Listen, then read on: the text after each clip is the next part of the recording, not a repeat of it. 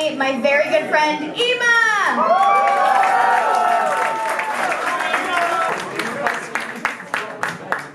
Hello, good evening. Thank you all so much for coming out tonight. It is so nice to see me. I'm from Philippines, uh, but I'm not taking any orders tonight. I need to say that because the last time I was at a restaurant, I had a British lady talk to me. Excuse me, I'd like to order some breakfast. Me too, I'm hungry. and you're sitting on my chair. so British of you wants to colonize everything. She didn't like it.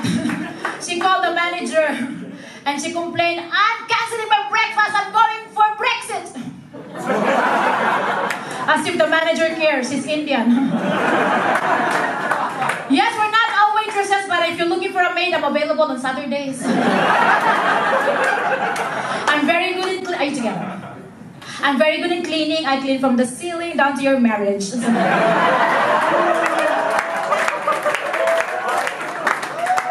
looking at me like, yeah, that's why she looks familiar. She's my maid. What is she doing here? Madam, it's my day off today.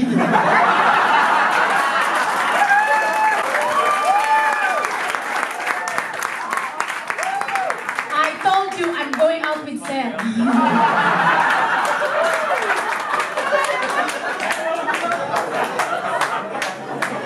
Yeah, so I just came from holiday. I went to Philippines.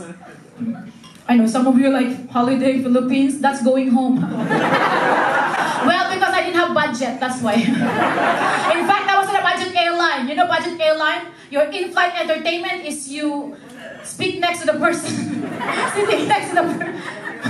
I forgot my joke.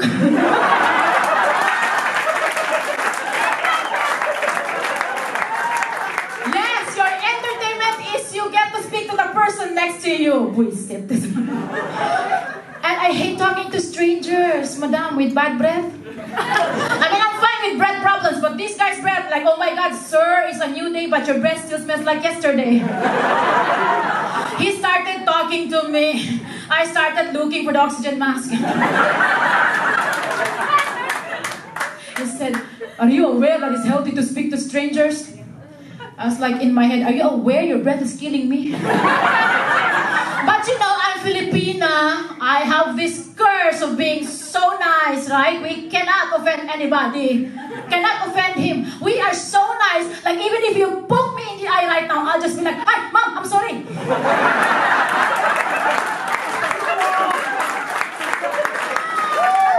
Madam, is